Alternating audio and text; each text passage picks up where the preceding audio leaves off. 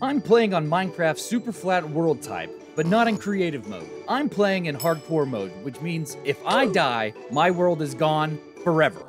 But I just went to the nether, and it's not flat at all. Wait, what would happen if the entire nether was transformed into super flat? Hmm. This may be the largest project I've ever done, so watch until the end and let me know if it was worth it. Step one of this project is to locate a place in the nether to transform. Now, I could waste all my rockets flying around the nether, or I could use Chunkbase and search the world map. Chunkbase is a website that allows you to enter the world seed and view your world, including all the structures and biomes. However, since I've already established my main portal area, I'm just going to use my main nether portal as the central feature. Now that I've got my location all picked out, it's time to outline the area that I'm removing. I'm using Mini HUD to render in a huge circle. This gives me a visual guide of which blocks need to be removed. Now the only thing that I have left to do is start removing blocks.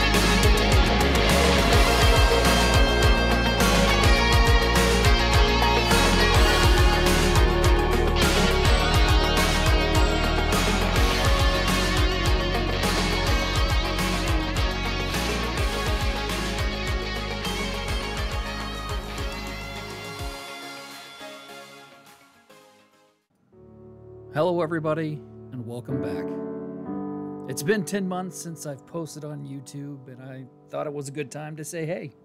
I've been keeping myself extremely busy over these past 10 months.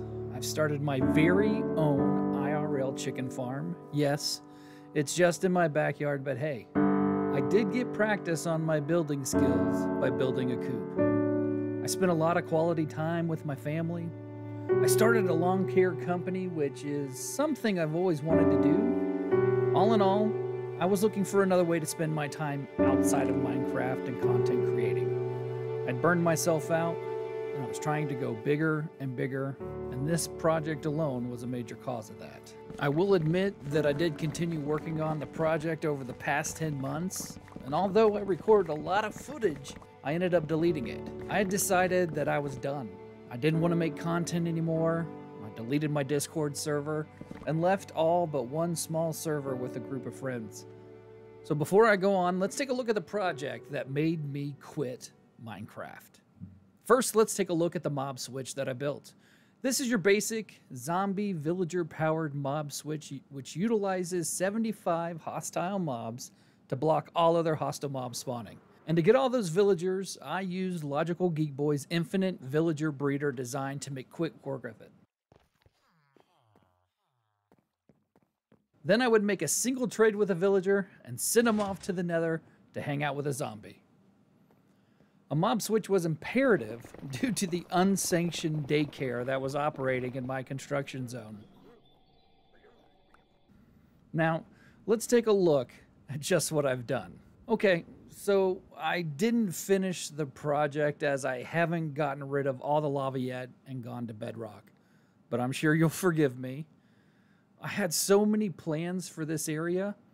I was going to completely transform this patch into a super flat nether, representing all biomes. But what I didn't realize is that I was just going bigger and bigger because that's what I thought you all wanted.